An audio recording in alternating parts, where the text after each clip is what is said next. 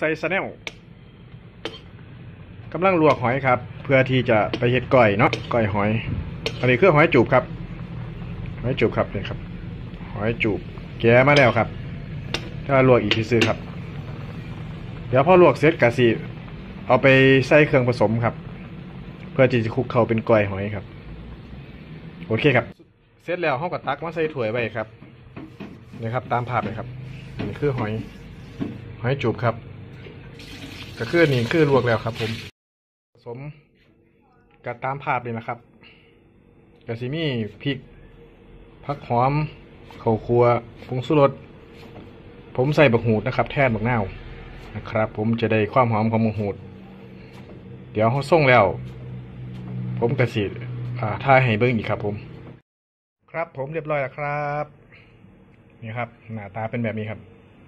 เรียบร้อยแล้วครับรสชาติไม่ต้องห่วงครับ เรียบร้อยแล้วเรียบร้อยแล้ว โอเค ขอบคุณครับ